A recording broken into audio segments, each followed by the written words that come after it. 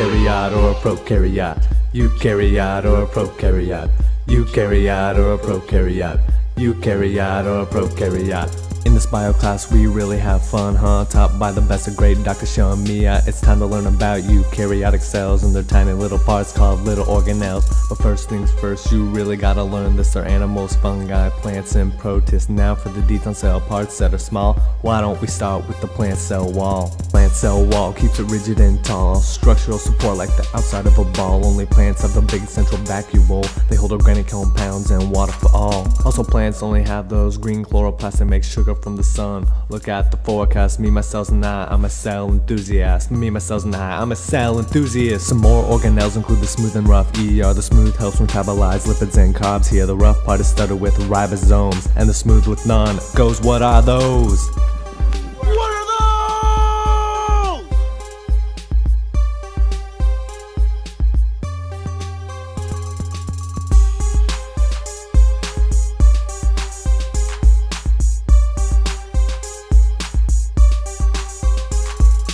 Lysosome cleans up the cell like Lysol, therefore the trash collector is its title. Ribosomes make proteins like Ford makes cars. Ribosomes make proteins to play their part. Plasma membrane is a phospholipid bilayer. Hydrophilic heads and hydrophobic tails, perfect pair. Only oxygen, nutrients, and waste pass through there. Only what the cell needs a selective barrier. Surface area volume, which is more important if surface area is greater than the cell is more efficient. Metabolic requirements at the limit on size, so you can't see these cells with just your eyes.